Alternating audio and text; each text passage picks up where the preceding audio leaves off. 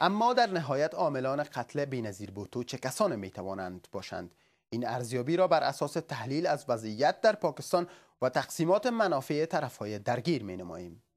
این خودش نشان میده که ارتباط مستقیم ما بین و جای شک نیست. چندین بار مقامات حکومت افغانستان میره گفتن ارتباطات مستقیم میان دستگاه استخباراتی پاکستان و حلقات بنیادگرایی در داخل پاکستان و در مناطق سرحدی افغانستان وجود داره و اهداف مشترک تعقیب می‌کنن و کشته شدن خانم بوتو و چند گانگی اظهارات مقامات حکومتی که همونطور که شما گفتین سخنگوی وزارت داخلشان گفت که در اثر اصابت با موتر مثلا کشته شده و در عقب انتحار هم گروه القاعده بوده. ما فکر می‌کنم که این چگونگی در اظهارات هم ناشی از خود دستپاچگی مقامات حکومت پاکستان در قبال کشته شدن خانم بود من فکر می‌کنم تفاوت بسیار کم در policy های استخبارات پاکستان و چون استخبارات پاکستان بالاخره حضور خانم بوتو را به عنوان یکی از alliance یا یکی از شرکای قوی جامعه جهانی حداقل به عنوان یک خطر احساس می‌کرد. هرچند شاید تاثیرش کم بود اما به عنوان خطر احساس می‌کرد و نحوی خواستن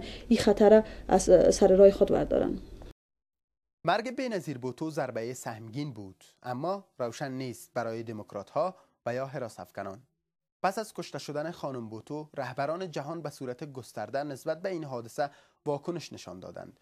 ایالات متحده امریکا که نگران وضعیت در پاکستان است با مرگ بوتو به چالش جدید در منطقه مواجه شده است و یا با موفقیت بینظیر خانم بوتو چرا به کام مرگ کشانده شد؟ همه پرسش است که در این زمینه تحلیل جالبه از وحید مجده را با خود داریم. ما شاهد قتل های بسیاری در پاکستان بودیم. رئیس جمهوری کشور کشته شد.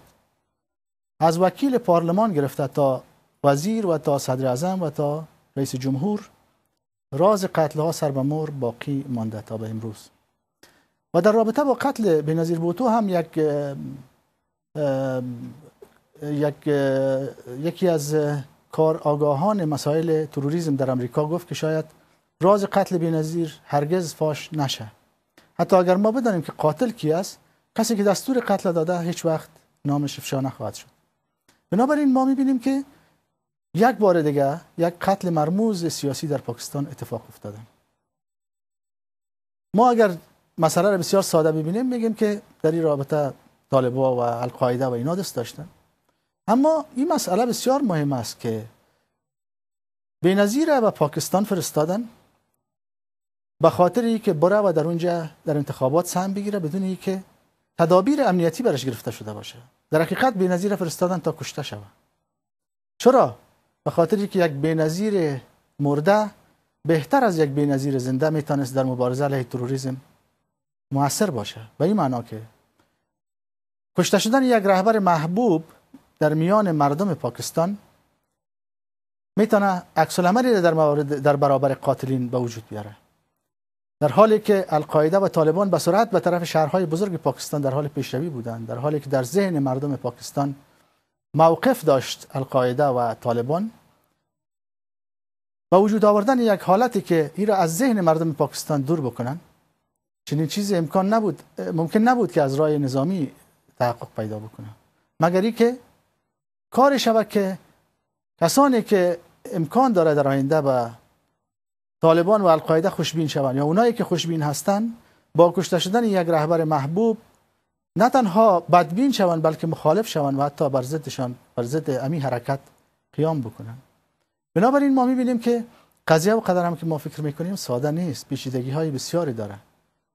و همونطور که دیده میشه مسئله قتل به حد پیچیده است که می توان بسیار کسا را در این مقصر دانست بدون اینکه نام خاصی از یک شخص خاص در این میان و میان آورد بینظیر بوتو کی بود؟ شناخت ما در افغانستان از شخصیت بینظیر بوتو چه است؟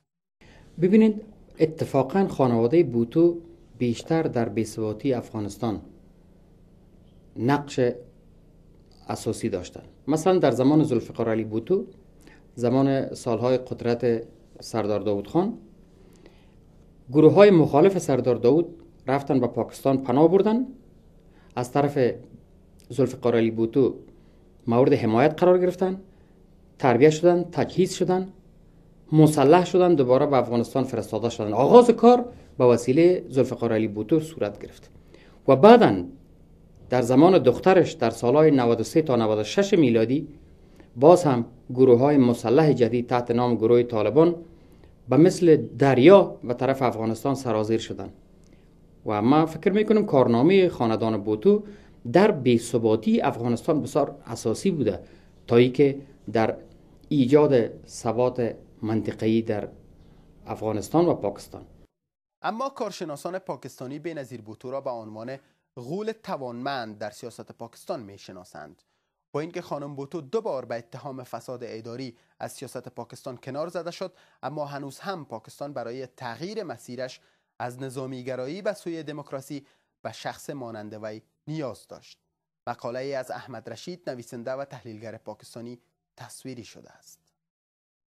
احمد رشید می نگارد دوبار نخست وزیری پاکستان در سالهای 1990 دو بار برکنار شدن به اتهام فساد و بیکفایتی سوی ارتش بوتو یک غول سیاسی در یک سرزمین سیاستگرا و دست نشانده ارتش ساخته بود بینظیر بوتو و حزب مردم پاکستانیش از جمله کسانی بودند که زیادترین حمایتشان را از برقراری یک فرهنگ سیاست عام و دموکراتیک در آینده پاکستان نشان می‌دادند. در یک کشوری که تمام پیشرفت های سیاسی آن تنها سوی طالبان انجام می‌شد نقش را که بوتو به خود گرفت کوشش کرد که ملت 160 میلیونی پاکستان را مدرنیته سازد شجاعانه و بی اندازه ضروری بود هر کوتاهی که او در کار خود داشت با آن هم او کشور خود را دوست داشت و به خاطر کشور خود جان سپرد او و هوادارانش شدیدا نقش نظامی و افراطگرایی اسلامی را در پاکستان رد می کردن. او نه تنها در مقابل افراطگرایی مبارزه می کرد بلکه همچنان در مقابل ارتش نیز مبارزه می کرد که به همین لحاظ چندان اعتماد رهبران نظامی را نیز کسب نکرده بود.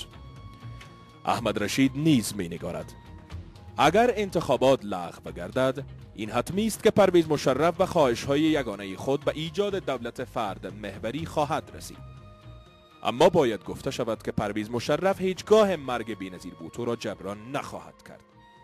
اما این را هم باید گفت که عملکردهای پرویز مشرف قابل احترام نبوده است و بعید است که اگر سیاستمداران مخالف با او کنار آیند. و معلوم می شود که آنها ادامه ریاست جمهوری او را در آینده نپذیرند. اگر او حمایت رهبران سیاسی را از دست دهد و اگر ایالات متحده در نهایت از او کنارگیری کند پس ضروری است که در آن حالت ارتش از او خواستار برکناریش خواهد شد. بدین لحاظ بهتر این است که از پروسه انجام انتخابات پارلمانی حمایت شود.